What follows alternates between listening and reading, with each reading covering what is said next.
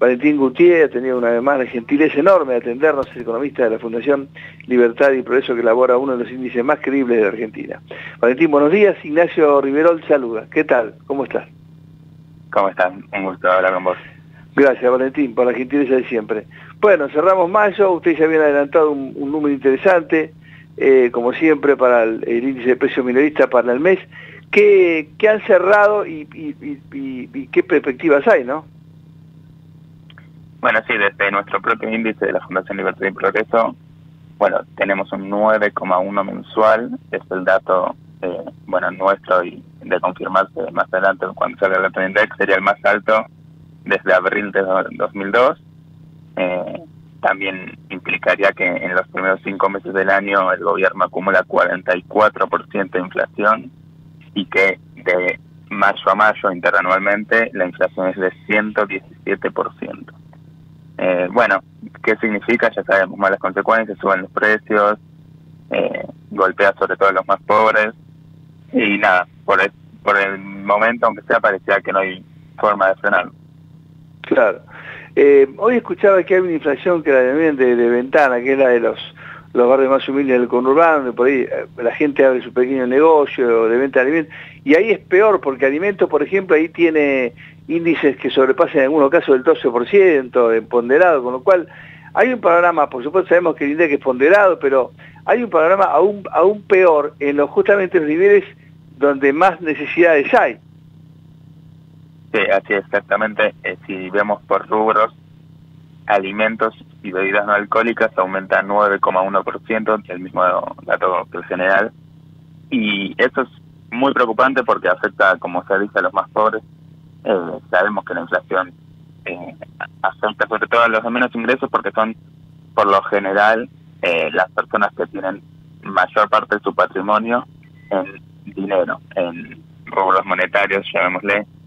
Entonces, claro, son los que mayor golpe reciben, además de que el aumento en alimentos, lógicamente, eh, asusta porque sube los pisos de la canasta básica, los pisos para no ser pobres estadísticamente. Eh, entonces, claro, es, es de temer el otro rubro que aumentó, sobre todo es vivienda también, eh, por los aumentos que hubo de tarifas para hogares catalogados nivel 1 y nivel 3 del index.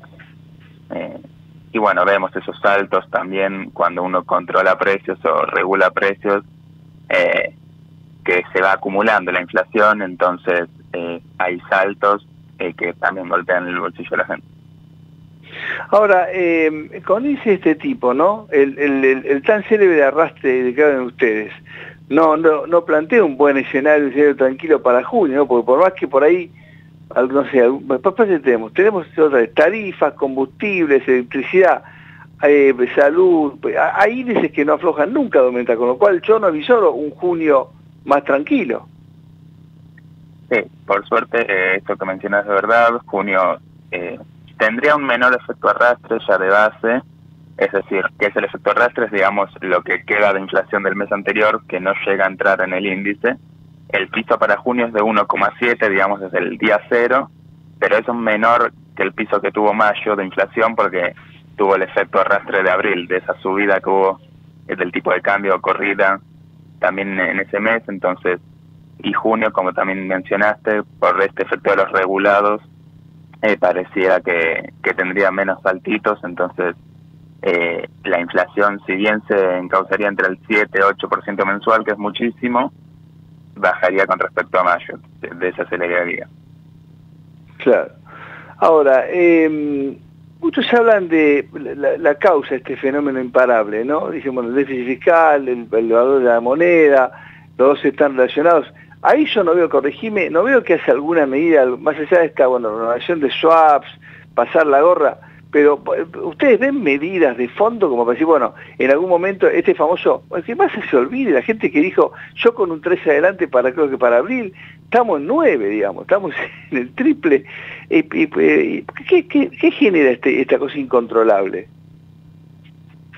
Bueno, lo primero que tenemos que entender es el corazón del problema que nos aqueja, que es la inflación es monetaria. Eh, básicamente sobran pesos en la economía y como nadie los quiere, eh, bueno, suben los precios que son la, consecuencia de la inflación.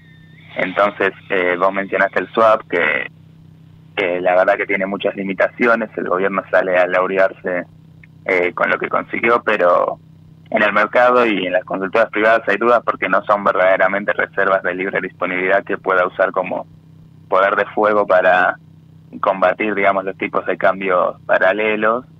Eh, y si bien existe un poco esa posibilidad, lo cierto es que China tiene obviamente una preferencia que usemos esos yuanes en nuestra relación comercial con ellos. Eh, y siendo así, mientras siga el financiamiento monetario y el Banco Central no tenga el poder de fuego, las reservas para combatir los tipos de cambio paralelo, la inflación va a seguir y no hay plan de fondo por el momento que la pueda frenar. Ya veremos si el próximo gobierno, seguramente de la oposición, eh, ya sea con una dolarización o con un ajuste del Estado, que seguramente en cualquier caso va a tener que hacerse, eh, si consigue un resultado diferente, porque bueno, eh, más allá de los controles de precios, que evidentemente no funcionan, el gobierno actual no, no tiene ningún plan con eso. Ahora, viste que además en las últimas horas intentó explicar que esta renovación de SWAP por 5.000, que sabemos que no es convertido inmediatamente, etcétera, etcétera, y que tiene prioriza las compras a China, pueden ser utilizadas para intervenir en el mercado del dólar. ¿Eso, eso es correcto?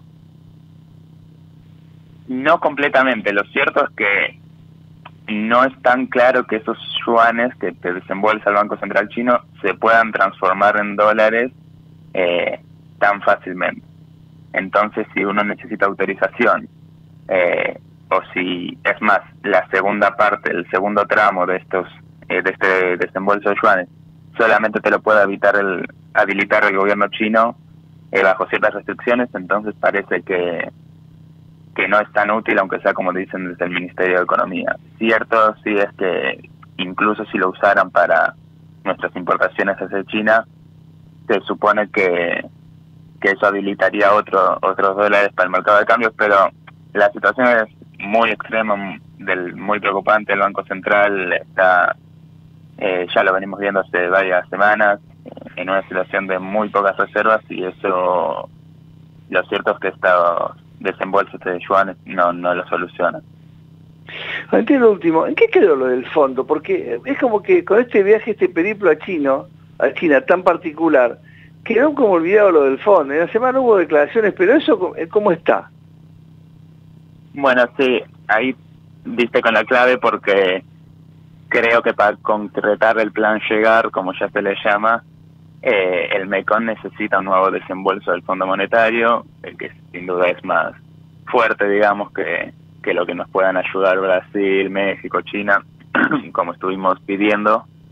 Eh, el problema es que el Fondo Monetario seguramente, como es lógico y como tiene que hacer en cierto punto, es poner ciertas restricciones al desembolso que nos pueda dar, porque si no, no serviría mucho que nos den más, más dólares para gastarlos de la misma forma que venimos haciendo, porque si no, en unas semanas nos vamos a encontrar en la misma situación que ahora, pero solamente, eh, bueno, más comprometidos con el Fondo Monetario cada vez. Entonces, si no arreglamos los problemas de fondos, si no dejamos de gastar más de lo que recaudamos, si no dejamos de emitir pesos, eh, no, no vamos a solucionar la inflación y por más que la combatamos eh, con bueno mendigando y intentando conseguir dólares para el central, eh, esa no es la forma de hacerlo.